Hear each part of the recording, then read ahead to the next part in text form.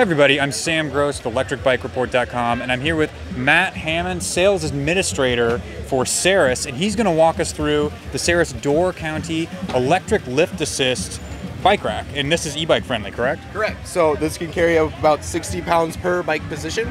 Uh, and the really, really key feature of this is the lift assist, obviously.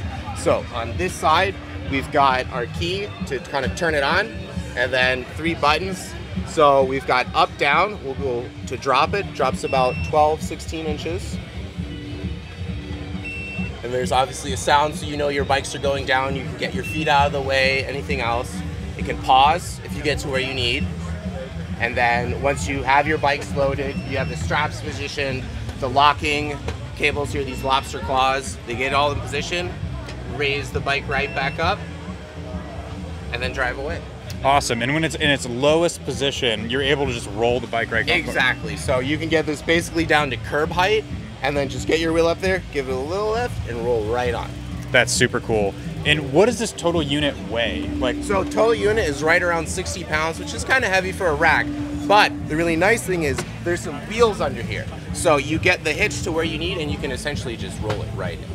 That's so awesome. There's not a lot of lifting that's really needed to doing. There's almost no assembly. There's really just this bolt right here that you have to put in once you get it out of the box. You take the cover off, unfold it, and you're ready to ride. Awesome. And then how do the electronics work?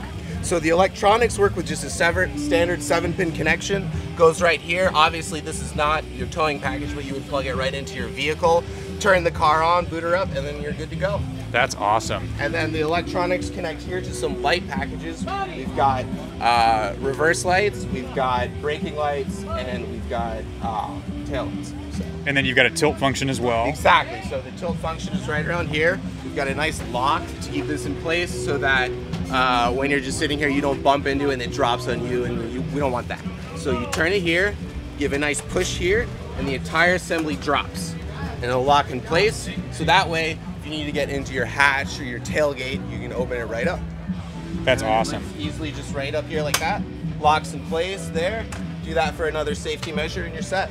Very cool. And then, so when you're not having bikes on this, but it's still in the back of the car, does it fold up? Yep. So you put these lobster claw arms right there out of the way. Just get them nice and secured.